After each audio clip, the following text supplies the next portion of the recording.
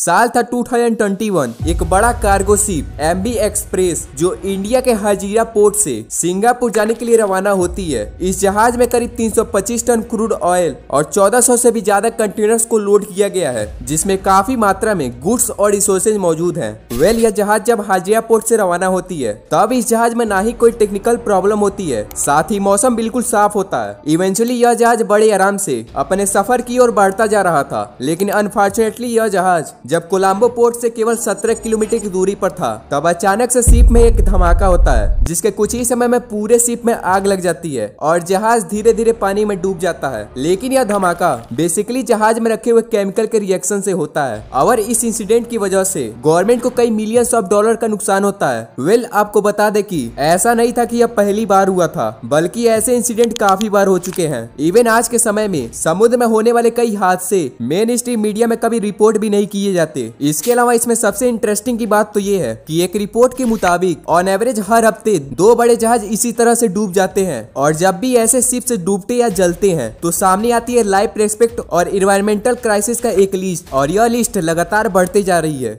Sri Lanka is facing one of the worst ecological crises in its history following a fire on board a container ship. Site claims the crew loaded more than 1,000 junk cars to send to Africa लेकिन सोचने वाली बात तो ये है कि अगर इतने एक्सीडेंट हो रहे हैं तो आखिर गवर्नमेंट को शिपिंग इंडस्ट्री में क्या मेजर चेंजेस करने चाहिए कि जो एक्सीडेंट हो रहे हैं उनकी प्रोबेबिलिटी काफ़ी हद तक कम हो जाए जिससे शिपिंग इंडस्ट्री को काफ़ी बूस्ट मिल पाए। वेल well, दोस्तों आइए इस वीडियो में समझते हैं शिपिंग इंडस्ट्री के साइज़ और उससे होने वाले इंपॉर्टेंस के साथ साथ उससे होने वाले डिजास्टर्स को भी। The container ship caught fire two weeks ago, and huge quantities of plastic pellets on board have already spread. Millions of plastic pellets that were being transported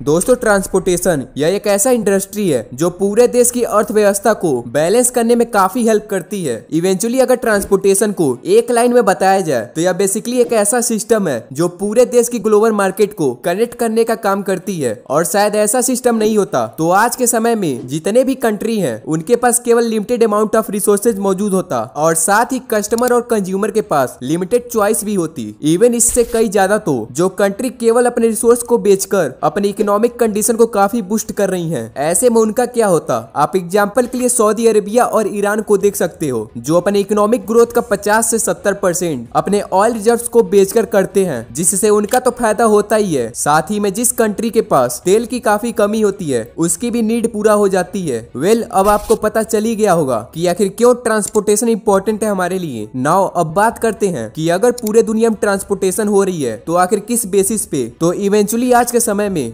transportation तो वैसे में कई तरीकों से किया जाता है, लेकिन अगर हम बात करें पूरे वर्ल्ड वाइड में कि सबसे ज़्यादा ट्रांसपोर्टेशन किसके द्वारा किया जाता है तो दोस्तों वह है समुद्र द्वारा, क्योंकि आज के समय में दुनिया का अस्सी व्यापार इन माल वाहक जहाजों द्वारा किया जाता है, और ऐसा इसलिए क्योंकि ये बड़े बड़े कार्गो शिप्स आज के समय में हज़ारों कंटेनर्स को एक साथ इजिली ट्रांसपोर्ट कर सकते हैं, जिससे फ्यूल की बचत तो होती ही है, साथ में टाइम भी काफ़ी बचता है। और इन सब के अलावा सबसे बड़ी बात तो ये है कि ट्रैफ़िक का भी कोई इशू नहीं होता है, क्योंकि जो कंटेनर्स हैं, उनकी on average size 20 metre length में 8 फीट चौड़े और साथ ही 8 फीट ऊँचे हैं। तो अब आप इमेजिन करके देखो कि हज़ारों की संख्या में कंटेनर अगर रोड के थ्रू ट्रांसपोर्ट किए जाते तो हर एक कंटेनर को रखने के लिए कम से कम एक ट्रक की ज़रूरत पड़ती। तो ऐसे ट्रक अगर हज़ारों की संख्या में एक लाइन से खड़े होते तो पता नहीं कितने किलोमीटर की ये लाइन बन जाएगी। वेल इन शिप्स का यूज़ केवल ट्रैफ़िक को कम करने और समय को बचाने का नहीं है। इवन शिपिंग इंडस्ट्री की वजह से ही आज के समय में गैस, तेल खाने पीने की सामान, मेडिकल इक्विपमेंट छोटी बड़ी मशीनें और केमिकल्स हमारे तक पहुँचते हैं। इवन ज़्यादातर कंट्री गैस और तेल की सप्लाई के लिए शिपिंग टैंकरों पर डिपेंडेंट है। और आज के समय में पेट्रोलियम का 61 परसेंट सप्लाई इन्हीं टैंकरों की हेल्प से किया जाता है। इवन यूनाइटेड स्टेट की दो हज़ार बाईस के एक रिपोर्ट के मुताबिक समुद्र में चलने वाले जहाजों की संख्या करीब एक लाख से भी ज़्यादा हो चुका है। इवेंचुअली ऐसे भी कई जहाज़ हैं जो बिना किसी रिकॉर्ड के ओशियन में ऑपरेट किए जाते हैं। नाउ नाउ बीते हुए पंद्रह सालों में समुद्र में होने वाले ट्रांसपोर्ट काफ़ी तेज़ी से ग्रोथ हुए हैं, क्योंकि जहाजों के कार अब काफ़ी बड़े हो चुके हैं, जिनकी लंबाई करीब 400 मीटर हो चुकी है। इवन 2002 तक दुनिया का सबसे बड़ा जहाज़ मैक्सिमम 6500 कंटेनर्स को लोड कर सकता था,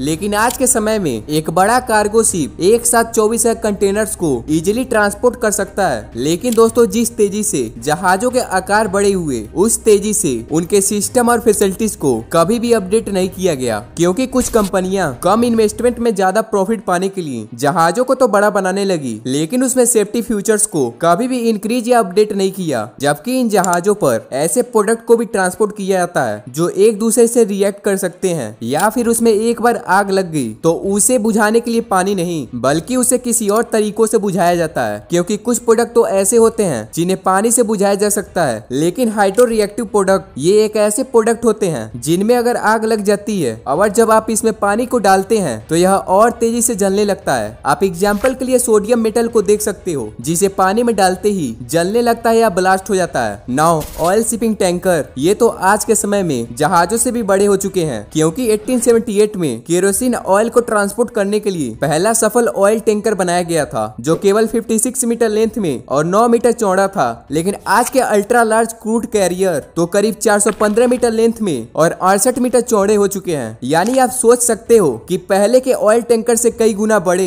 और लोडिंग कैपेसिटी भी काफ़ी ज़्यादा हो चुका है। लेकिन दोस्तों, इस बड़े साइज़ का मतलब बड़ा नुकसान भी होगा, क्योंकि एक्सपर्ट के मुताबिक 2010 से 2018 के बीच ऑयल टैंकरों के 10 हादसों में ही समुद्र में 91 परसेंट तेल रिस चुका है, जिसमें से आधे मामले तो खुले समुद्र में जहाजों के टकराने से हुआ है। इवन आपको बता दे कि एक लीटर तेल करीब 10 लाख लीटर पानी को दूषित कर देता है। और जो तेल की परत होती है, वह काफ़ी समय तक पानी को ढक देता है, जिससे समुद्र में रहने वाले जीवों के पास सन की लाइट नहीं पहुँच पाती है, जिसकी वजह से अनगिनत मछलियाँ और अन्य जानवर मर जाते हैं। इवन हादसे होने पर, जहाज़ में जो केमिकल्स रखे होते हैं, वह इन्वायरमेंट को काफ़ी मात्रा में नुकसान पहुंचाते हैं। जैसे कि सितंबर 2019 में, ब्राज़ील के बैया में एक ऑयल टैंकर डूब गया था, जिससे काफ़ी मात्रा में नुकसान हुआ था, क्योंकि इस ऑयल टैंकर से इतना तेल लीक हुआ था कि कई दिनों तक समुद्र तट काला पड़ गया था। इसके अलावा सितंबर 2020 में, जापान के पास एक बड़ा जहाज़ डूब गया, जिसमें करीब 6000 गायों को ले जाया जा रहा था। आप सोच सकते हो ये कितने बड़े हादसे हैं। इवन 25 मई 2021 को श्रीलंका के कोस्ट के पास एक कार्गो शिप में आग लग गई, जिसमें अमोनियम नाइट्रेट प्लास्टिक और बेकिंग सोडा समेत कई और केमिकल्स लदे हुए थे।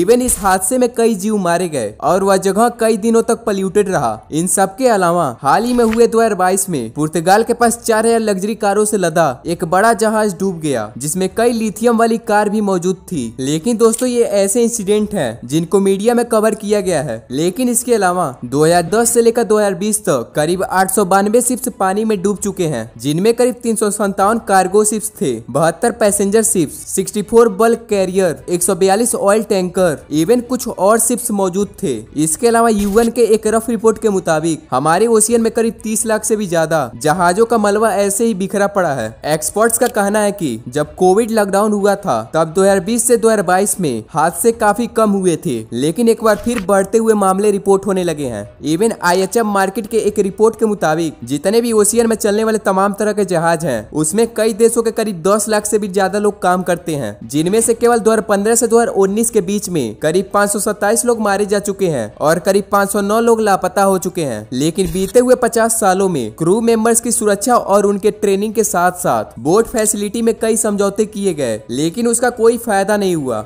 इवन बीजी पोल का कहना है की शिपिंग इंडस्ट्री में बिना किसी बड़े चेंजेस के ये हालात नहीं सुधरेंगे, क्योंकि खराब मौसम, दुश्वार हालात में काम करते हुए क्रू मेंबर्स और जलते डूबते हुए जहाज़, लेकिन शायद इन्हीं प्रॉब्लम्स को पार करते हुए बहुत सारे सामान हम लोगों तक पहुँचाए जाते हैं। तो सबसे पहले थैंक यू शिपिंग इंडस्ट्री को। नाउ दोस्तों, ये थी शिपिंग इंडस्ट्री बट आपको शिपिंग इंडस्ट्री कैसा लगा और क्या सच में इसमें कोई चेंजेस करने चाहिए या नहीं? कमेंट बॉक्स में करके ज़रूर बताइएगा।